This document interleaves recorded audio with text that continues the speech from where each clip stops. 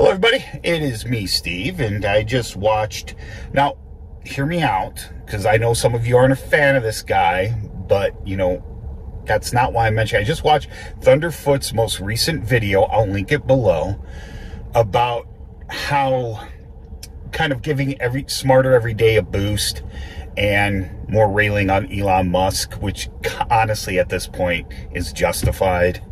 I've been following that guy for years. He is a physicist, he is a scientist. Uh, and unlike Dustin from Smarter Every Day, he doesn't have a stake in the game with NASA like Dustin does. So Dustin had to be very political about his assessment, as where Thunderfoot did not have to be.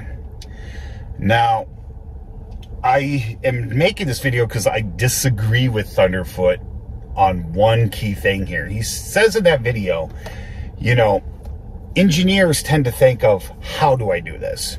Scientists tend to think about why should I do this? And that's partially true. We'll just run with that. But his argument was why go send people back to the moon? We can do it all with robots. We can do it all, you know, remotely. It costs too much. And honestly, as somebody who realizes and has been saying this for years that if we ever want to permanently leave this planet, we're going to have to leave modern capitalism behind us because the money becomes so much. And when you have dumbasses literally blowing it up on the way to orbit, it doesn't help. Okay? So but we're going to ignore that. We're going to also ignore the technological snafus with sending people to Mars or the moon. We'll just say right now it's doable. Okay? When you ask scientists, most scientists, and I've I've done this as well. I know a lot of physicists and chemists uh, and geologists, and I am a geologist, so I'm a scientist as well. When you ask scientists you know, why should we send people back to the moon or why should we send them to Mars? Most scientists will probably say we shouldn't. You know, we can do it with robots. We can do it with robots in low orbit, whatever we need to do. Cost effectiveness. But you ask most geologists and you're going to find out we're the group that says, no, you need to send people. Why is that? Why are geologists so adamant about this? Well, for several reasons. First of all, we'll get rid of, we'll hit the technical ones first. Now, dick slinging contests aside, because quite honestly, that's the only reason why we went to the moon in, in the late 60s, early 70s. It was a dick slinging contest. Okay.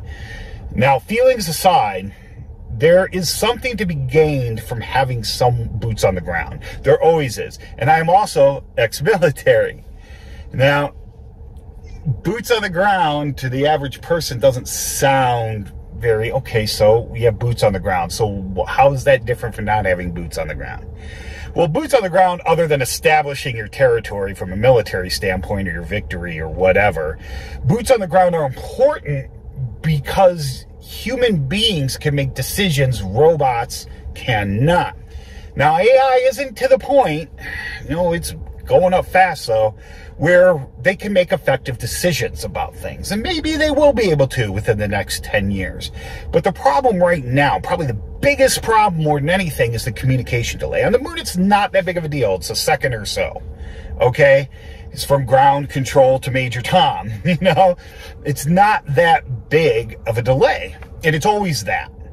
But if you send somebody to Mars, depending on where Mars is in its orbit relation to the Earth, if it's on the other side of the sun, you have a long wait time. It's between sending a signal and when it's directly blocked, you can't even do it.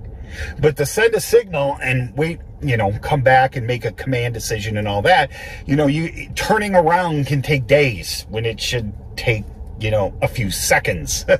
you know, but that's what the robots. Humans can do something robots still can't do when you pick up this rock as a human being, for one thing, robots don't have the senses we have. They have the senses we program them with. So if our purpose is just to get the chemistry of a rock, that robot isn't going to be able to do anything other than that. Okay? That's all it can do. All right? But me as a human being, all my senses are active right now. They're always active. All the time they're on. Whether I'm using them or not is a different story. But they're on. And I can look at this, I can feel this, I can feel the textures, something robots can't do. And, you know, geologists always do this. We lick it, and people say don't lick rocks, but, you know, I've been doing it for 40 odd years and I'm not dead yet, but I mean, you know, look at me too. anyway, so holding this tells me stuff, feeling it, even if I'm not looking at it. I could gain information from doing this that I can't from a robot. All right. And I can't get from just looking at it. Now, if I just look at this, I see a picture of this, and assuming communication was instantaneous, which it is not, um, you know, it's limited by the speed of light. I see dark spots. Well, those dark spots, holes, or is they plugged with something?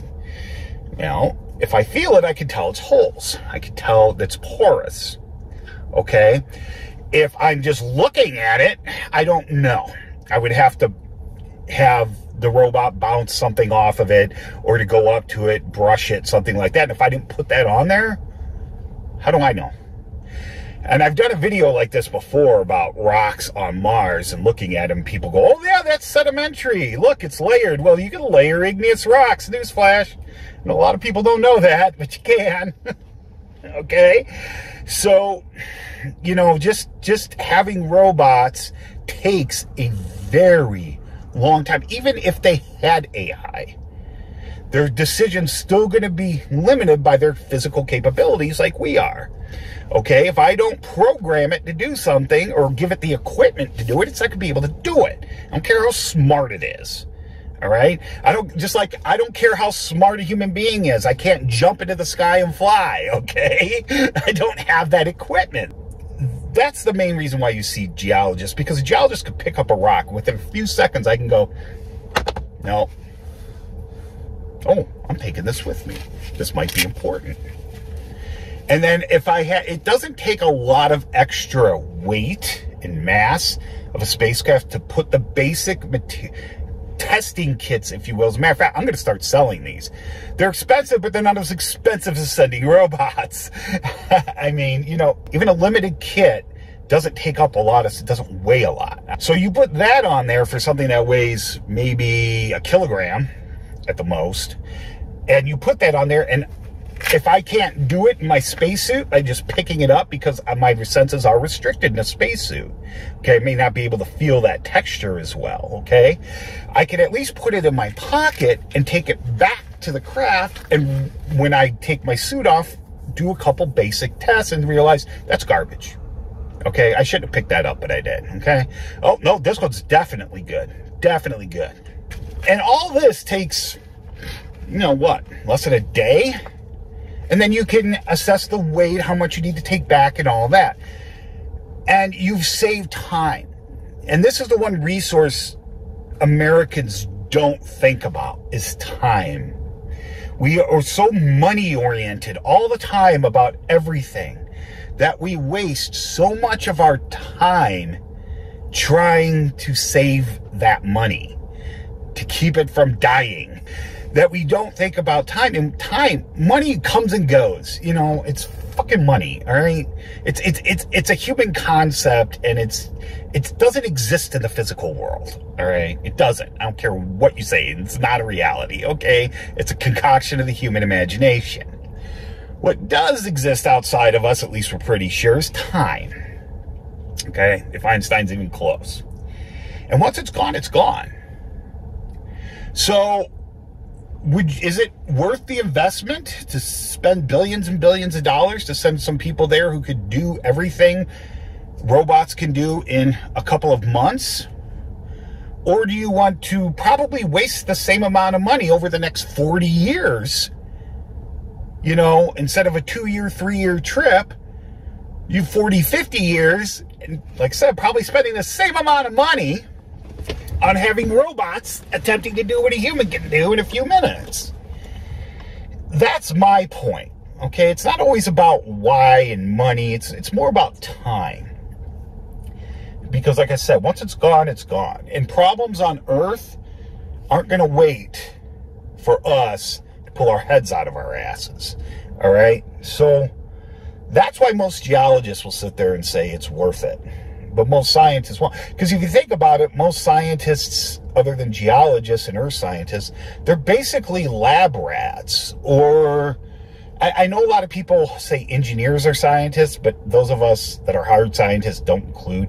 Engineers are more applied scientists. They apply the science that that they're taught scientists are different. We can apply it, and we do, but we're out there trying to figure stuff out as well. Engineers pretty much don't do that. I mean, I know they figure out problems on sites and construction sites. That's not what I'm talking about. I'm talking about unknowns in science, okay? I'm not talking about problem solving on site. That's not what I'm talking about, all right? They are problem solvers, engineers. Don't get me wrong. I'm not bashing engineers here. So, I'm just explaining why geologists sit there and say we should. And there's other reasons too. Um, a permanent presence in space, for one, would be nice. There are certain things you can do with humans on the moon that you can't do from Earth or from robots. You could do quick repairs, for one. Um, you know those reflectors we left on the moon? Last time we were there, a couple times before, I forget which Apollo it actually was, that people have to find now, we could bring little pieces of those up, make them a lot bigger. So you don't have to hunt for them. And we could move them and we could be like, hey, ground control, can you see this thing? do I need to change the angle? You know, you could do those things that robots can't effectively do. You know, eh, you could do things quicker. Human beings can still do things far faster, even faster than AI can. You know, I mean, you know, Skynet itself in Terminator couldn't do anything. Skynet couldn't stop humanity or wipe it out. It had to be connected to those resources in order to do that. It itself couldn't do anything. Okay. It was just a brain in a computer. Okay, so that's just, you know, you have to have those tools and those other things. And yeah, humans are bulky, we weigh a lot, we consume a lot of resources. But in the long run, is it worth it? I think it is. All right. The thing is, though, we got to stop giving morons contracts. Okay. We got to stop listening to the sales hype. Okay, we got to start focusing more on, and something very thing that Dustin did bring up was the communication, because I see that in the civilian world. The military, I didn't see it so much. The military is actually pretty proficient at many things, and people are people in the military is like, "Oh, the military's good for killing people." The military did. Military is not controlled by the military; it's controlled by the people you elect. The military I notice learns from its mistakes more than civilian world does. The civilian world might learn from something, but then it's forgotten after 20, 30 years. You know, generation goes by and everything's forgotten. But I just want you to know that's why us geologists are always so much like, hey, no, send people. But, you know, we do need a permanent pre presence in space, too. And the moon is a place to do it. You ain't doing it on Mars. We are not going to Mars in the next 100 years. I guarantee it. I don't care if there's a technological revolution. I don't care if humanity pulls its head out of its ass. We're not going in the next 100 years. We're not putting boots on the ground to Mars. The moon is completely doable as long as we keep things simple learn how it was done in the past, try to replicate that, do it in steps instead of trying to fucking put a full blown goddamn colony on the moon with technology that doesn't even exist yet. But anyway, I hope that's it. We're past 17 minutes. I'm, I'm just going to stop here. I hope you learned something and leave some comments below. All right. Have a good day.